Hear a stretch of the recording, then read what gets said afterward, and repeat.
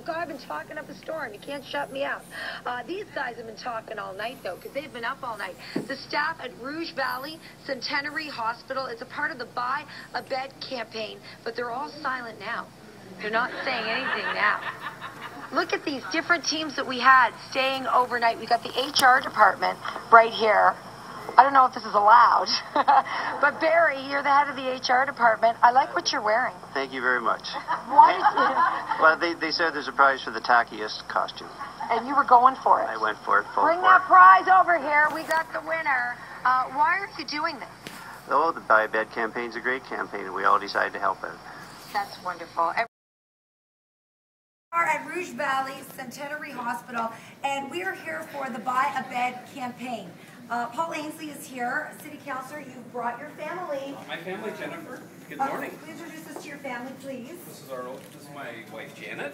Our, our oldest son Jimmy. Mm-hmm. Our daughter Katie.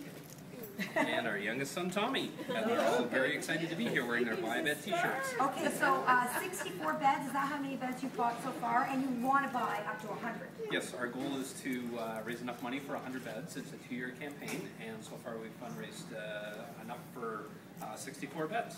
Okay, these beds are expensive, are they not? Yes, they are five thousand a bed, and for the ICU beds, they're over twelve thousand. Why are they so expensive?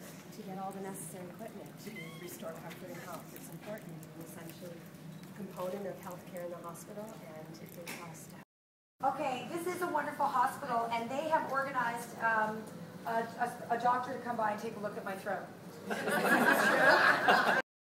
okay, all right. Do you want to do an examination though? Do you want to take a look at my throat? Sure, I can take a look Okay. look at your throat. Oh, you need this. Yes. Like I said, he didn't know he was going to be on TV this morning. Okay. so, uh, for you. Uh, Good, very healthy. That was it. That's it. Yeah. My throat is, is it looks okay.